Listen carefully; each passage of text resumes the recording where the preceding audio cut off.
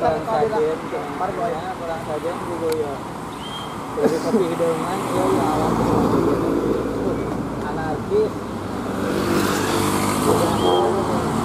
Ngong-ngong.